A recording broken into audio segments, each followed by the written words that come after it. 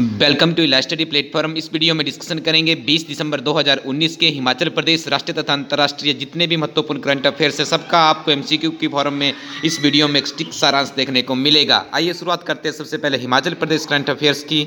सबसे पहला प्रश्न है, हाल ही में किस ज़िले में एम्स भवन बनकर तैयार हो रहा है? तो फ्रेंड्स आपको बता दें आपको बता दें कि बिलासपुर के कोठीपुरा नामक स्थान पे यमस कॉलेज बनाया जा रहा है, जो कि हिमाचल प्रदेश का पहला एम्स कॉलेज है। तो इसको भी आपने अच्छे से याद रखना है। आगे नेक्स्ट है। दक्षिण कोरिया के पेंजियोंग शहर में 15 से 21 दिसंबर तक होने जा रही अंतर्राष्ट्रीय पैरा ओलंपिक शीतकालीन खेलों व प्रशिक्षण कैंप में कौन भारतीय दल के मुख्य प्रबंधक व कोच के रूप में भूमिका निभाएँगे? तो स्टूडेंट्स आपके सामने चार ऑप्शन है। बहुत ही क्लोज ऑप्शन यहाँ पे डाली गई है। लेकिन आपको बता दें, इसका सही उत्तर है ऑप्शन नंबर थ्री यानी ललित कुमार। उद्योग मंत्री विक्रम सिंह ने केंद्र सरकार से, प्रदेश के लिए सैद्धांतिक रूप से घोषित 58 राष्ट्रीय उच्च मार्गों के निर्माण के लिए वित्त वर्ष 2020-21 के बजट में कितने करोड़ के वित्तीय परिव्यय का प्रावधान करने की मांग की है? देखिए, बहुत ही क्लोज इसमें ऑप्शंस डाली गई है और इस तरह के प्रश्न आपको एनटी नायब तहसीलदार की परीक्षा में देखने को मिलेंगे। इसका सही उत्तर है ऑप्शन नंबर सी यानी 1400 crore. Himachal Pradesh power corporation limited द्वारा कौन सा स्थापना दिवस मनाया गया? तो इसका सही उत्तर है थर्टीन तेरहवा मनाया गया। 30 मेगावाट क्षमता की, देवथल, जांचू और 48 मेगावाट क्षमता की जांचू जल विद्युत परियोजना प्रदेश के किस ज़िले में निर्मित की जा रही है? तो फ्रेंड्स इसका सही उत्तर है चंबा ज़िले में और बहुत ही इंपॉर्टेंट प्रश्न है, ये आपको ज़रूर किसी परीक्षा में देखने को मिलेगा कि देवथल जांचू जल विद्युत परियोजना किस जिला में स्थापित की जा रही है? तो इसका सही उत्तर है जिला चंबा। हाल ही में शिमला शहर शिमला नगर निगम की नई मेयर। फ्रेंड्स यहाँ पे आपने मेयर कर लेना है। ठीक है, मेयर किसे बनाया गया है? यू हैव फोर ऑप्शंस और यहाँ पे आपको बता दें, इसका सही उत्तर है सत्या कौंडा जो कि भारतीय जनता पार्टी से संबंध रखती है। शिमला नगर निगम की नई डिप्टी मेयर किसे बनाया गया है? इनका नाम है शैलेंद्र चौहान, ये भी आपने याद रखना है, बहुत इंपॉर्टेंट है। और आपको बता दें, हिमाचल प्रदेश में दो नगर निगम है एक है आपका शिमला में, जो कि सबसे पुराना है, और दूसरा है आपका धर्मशाला में, और तीसरे की मांग की जा रही है सोलन में, लेकिन अभी तक वो नहीं बन पाया है। ये भी आपने याद रखना है। कुछ क्विक फैक्ट्स है आप लोगों के लिए। राजधानी के संजौली वार्ड से भाजपा समर्थित पार्षद सत्या कौंडल नगर निगम की चौदहवीं महा, महापौर बनी है, या मेयर बनी है, इसको आपने याद रखना है। और लोअर ढली बाढ़ के पार्षद है शैलेंद्र चौहान जो तेर में उप महापौर बने हैं, ये भी आपने याद रखना है। हिमाचल समेत पड़ोसी राज्यों में बढ़ते मादक द्रव्यों की तस्करी को रोकने के लिए अंतर्राज्यीय संचार नेटवर्क विकसित किया जाएगा, जिसका पुलिस मुख्यालय हिमाचल प्रदेश में एक बैठक आयोज, आयोजन किया गया और इस बैठक में पंजाब, हरियाणा, जम्मू कश्मीर, उत्तर प्रदेश उत्तराखंड के साथ साथ चंडीगढ़ के वरिष्ठ पुलिस अधिकारियों ने भी भाग लिया। स्टूडेंट्स आपको नशे के ऊपर ऐसे राइटिंग भी करनी है जीएस वन टू थ्री के पेपर में भी इसको रिप्रेजेंट करना है। ये ऐसे फैक्ट है जिनको आप वहाँ पे कि सरकार किस तरह से नशे को रोकने के लिए काम करिए वहाँ पे इन फैक्टरों को डाल सकते हो। Himachal Pradesh power corporation limited द्वारा पाँच मेगावाट क्षमता के बेराडोल सौर ऊर्जा संयंत्र को 20 फरवरी को मुख्यमंत्री द्वारा प्रदेश की जनता को समर्पित कर दिया जाएगा। आपने मुझे कमेंट सेक्शन में लिख के बताना है। मैंने आपको पहले भी पढ़ा दिया है कि बेराडोल सौर ऊर्जा संयंत्र कहाँ पर स्थापित किया जा रहा है। उस ज़िले का आपने नाम मुझे बताना है। और स्टूडेंट्स आगे एक ने जो कि विभिन्न तरह की प्रतियोगी परीक्षाओं में पहले भी पूछी जा चुकी है। NABARD. NABARD NABARD stand for National Bank for Agriculture and Rural Development students आप किसी परीक्षा की तैयारी कर रहे हैं और आपके पास यदि उत्कृष्ट करंट अफेयर्स नहीं है तो शायद आपको उस परीक्षा में सफलता पाने के लिए अभी और प्रयास करने पड़ेंगे। हमारी टीम आप लोगों के लिए लेकर आई है।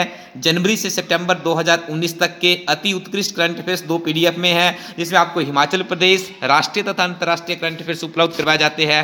साथ में भारत की प्रतिष्ठित पत्रिकाओं का सार भी इसमें सम्मिलित किया गया है। इसका लाभ उठाने के लिए आप हमारी वेबसाइट विज़िट करें इला स्टडी को डॉट इन अब डिस्कशन करेंगे national and world current affairs के बारे में। सबसे पहला प्रश्न है टाटा सन्स का पुनः चेयरमैन किसे बनाया गया है? तो उनका नाम है साइरस मिस्त्री काफ़ी सुर्खियों में रहे, काफ़ी उन्होंने कोर्ट केस लड़ा, उसके बाद यहाँ पे इन्हें पुनः नियुक्ति दी गई है टाटा सन्स में, इसको आपने याद रखना है। किस भारतीय अभिनेता को उनके स्थानवे जन्मदिन के अवसर पर वर्ल्ड बुक ऑफ़ रिकॉर्ड से सम्मानित किया गया? देखिए, कौन से सम्मान की बात की जा रही है? वर्ल्ड बुक ऑफ़ रिकॉर्ड्स तो यहाँ पे आप लोग देख पा रहे होंगे चार ऑप्शन है, लेकिन इसका राइट आंसर है Dilip Kumar right services N और एचएस के लिए प्रश्न बहुत महत्वपूर्ण है। ग्लोबल हंगर इंडेक्स 2019 की रिपोर्ट के मुताबिक एक देशों की सूची में भारत को कौन सा स्थान मिला है? तो भारत को यहाँ पे मिला है 102 नंबर का, यानी भारत में हंगर इंडेक्स में बहुत बदतर स्थितियाँ देखने को मिल रही है। भारत की प्रथम महिला राष्ट्रपति प्रतिभा सिंह पाटिल का जन्म किस राज्य में हुआ है? अक्सर प्रश्न आपको सिंपल सिटी में देखने को अब नहीं मिलेगा, क्योंकि सबको पता है कि हिमाचल प्रदेश की जो प्रथम महिला राष्ट्रपति बनी उनका नाम था प्रतिभा सिंह पाटिल। तो इनका संबंध है महाराष्ट्र से, ये आपने याद कर लेना है। अटल नव प्रवर्तन मिशन किसके अधीन स्थापित किया गया है? देखिए, बहुत क्लोज ऑप्शंस यहाँ पे डाली गई है और आप कंफ्यूज अक्सर मेरे ख्याल से इसी में होंगे। यहाँ पे देखिए, इसको निकाल दें। इन तीन ऑप्शनों में आप कंफ्यूज होने वाले हैं। आपसे पूछा जा रहा है कि अटल इनोवेटिव मिशन जो चलाया जा रहा है, वो किसने, किसके अधीन कार्य करता है किसके अधीन उसे स्थापित किया गया है? तो स्टैंड इसका सही उत्तर है नीति आयोग।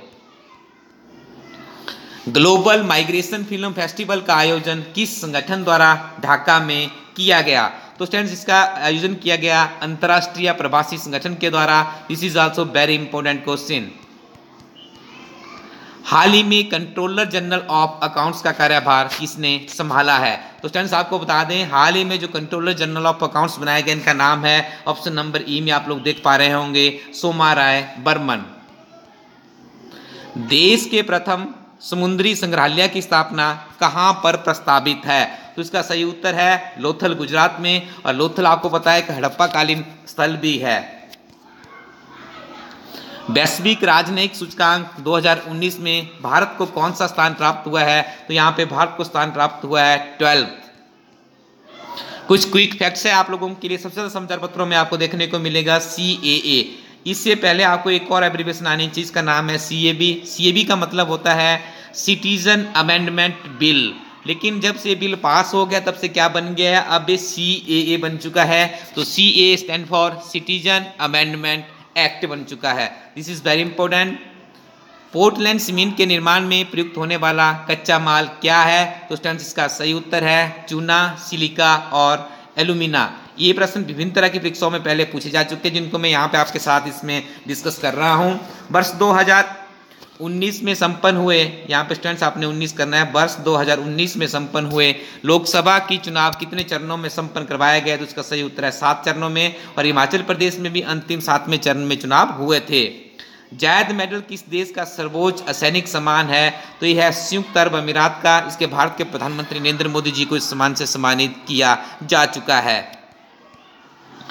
मिथुन नामक पशु प्रजाति भारत के किस राज्य में पाई जाती है? तो इसका सही उत्तर है अरुणाचल प्रदेश।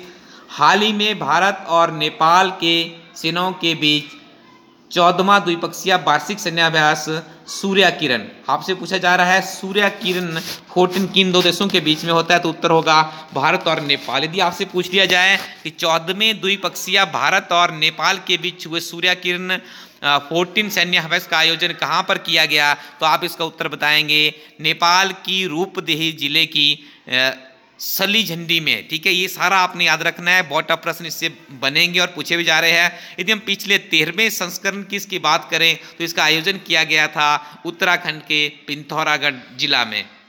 हाल ही में भारत और रूस के बीच तीनों सेनाओं का अभ्यास अभ्यास इंदर 2019 का आयोजन कहाँ पर किया गया? तो इसका सही उत्तर है बबीना, झांसी के निकट पुणे और गोवा में। स्टूडेंट्स आप किसी परीक्षा की तैयारी कर रहे हैं तो हम आपको सुजेस्ट करते हैं, उस परीक्षा के ओल्ड क्वेश्चन पेपर आप अच्छे से पढ़ें। ओल्ड क्वेश्चन पेपर पढ़ने से ही हमें उस परीक्षा के स्तर का पता चलता है, कितने प्रश्न रिपीट हो रहे हैं और डिस्क्रिप्शन यदि साथ में आपको मिल जाए तो डिस्क्रिप्शन से भी बहुत से नए प्रश्न बनते हैं, इतिहास इसका गवाह है। तो ओल्ड क्वेश्चन पेपर अध्ययन करने से आपको किसी परीक्षा में सफलता आसानी से मिल सकती है। हमारी टीम आप लोगों के लिए लेकर आई है विभिन्न तरह की प्रतियोगी परीक्षाओं के ओल्ड क्वेश्चन पेपर जिन्हें हमारी टीम के द्वारा डिस्क्रिप्शन के साथ सॉल्व किया गया है। इनका लाभ उठाने के लिए आप हमारी वेबसाइट इला study co dot in visit करें और आप चाहते हैं हर महीने के उत्कृष्ट करंट अफेयर्स आपके सेल फ़ोन में हो तो उसके लिए भी आपको हमारी वेबसाइट इला study co dot in visit करनी है और वहाँ पर हमारी मासिक करंट अफेयर्स की पत्रिका उपलब्ध है। मह छोटी सी कीमत चुका के आप उसको अपने फ़ोन में डाउनलोड कर सकते हो। Thank you very much keep watching इला स्टडी यूट्यूब चैनल